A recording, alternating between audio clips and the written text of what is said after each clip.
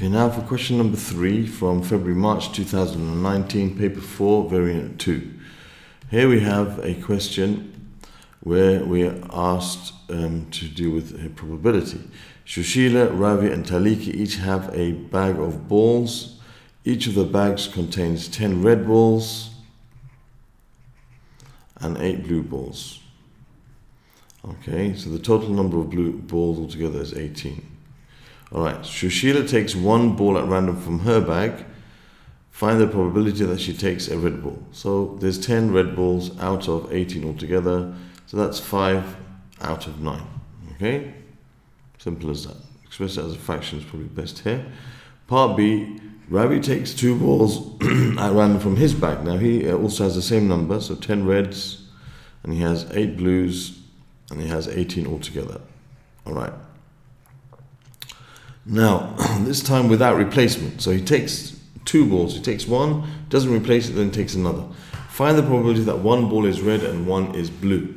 Okay, there's two different outcomes that will fit this. Okay, we don't need to really draw a tree, although some people would prefer to. So I'll just show you how that will give us the different outcomes. You've got red or a blue for the first pick, and then a red and a blue for the second pick.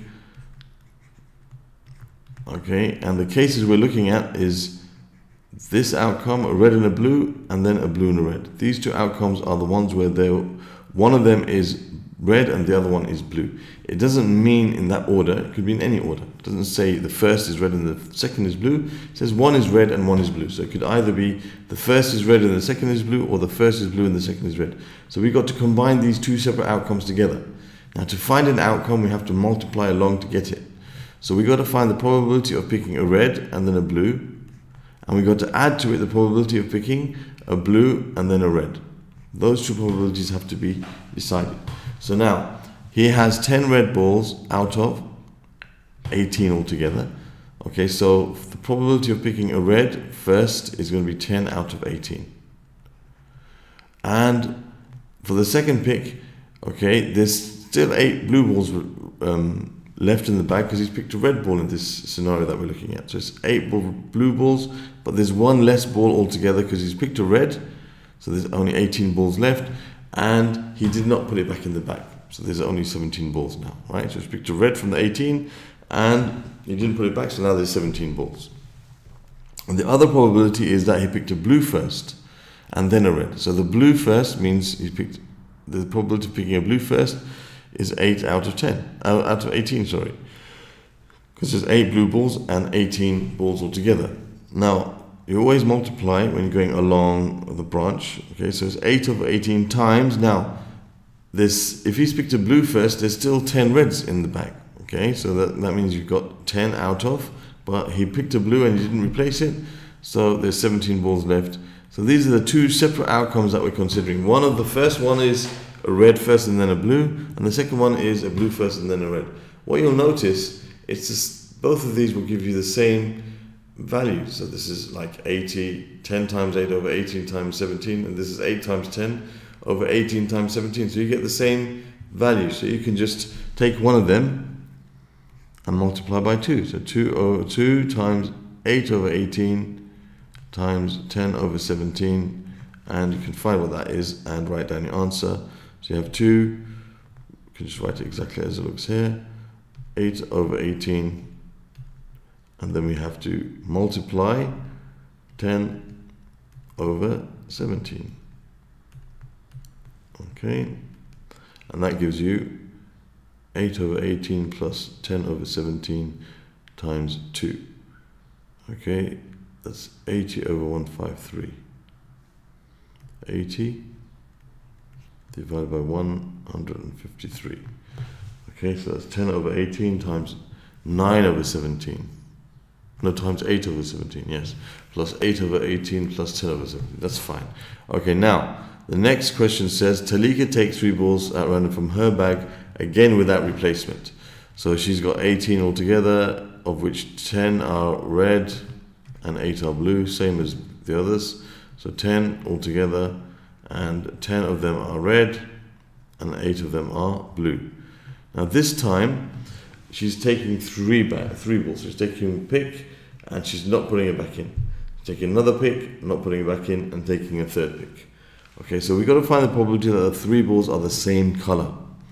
Okay, that they're the same color. So either they're all reds, either they're all reds, red, red, red. Okay, or, so you have to add the probability of them being all blues. Those are the two ways of getting the balls being the same color. All of them are the same color. All three of them. So the probability of picking a red is 10 out of 18. The probability of picking a red that's for a second pick after you picked a red for the first pick and didn't replace it. Well, there's one less of each of them, so that's 9 over 17. And again, the probability of picking an, a, a third red after picking the first two reds, well, there's two less reds in there, so it would be 8 out of 2 less altogether, 16.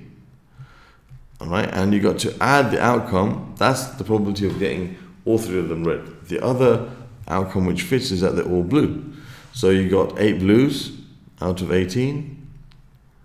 For the second pick, one less of each times, sorry, times, always times, times 7 blues over 17 times 6 blues over 16.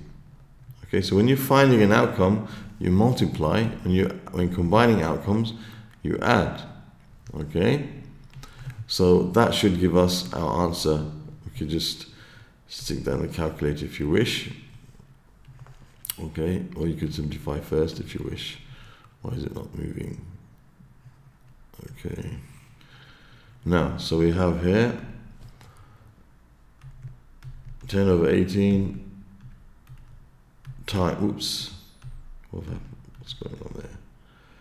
We have 10 over 18 multiplied by 9 over 17 multiplied by 8 over 16 okay close the bracket. And you got plus then you have 8 over 18 plus 7 over 17 oops sorry plus 7 over 17 and plus 6 over 16 sorry this is times here. Sorry about that I'm just doing the wrong thing. That should be a times. Finally, the outcomes you multiply be careful not to make silly mistakes like that. Okay times 6 over 16 okay, always good to check in case you made a silly mistake. So if you go back you can check everything carefully. 10 over 18 times 9 over 17 times 8 over 16 plus you've got 8 over 18 times 7 over 17 times 8 over, times 6 over 16 okay equals 11 over 51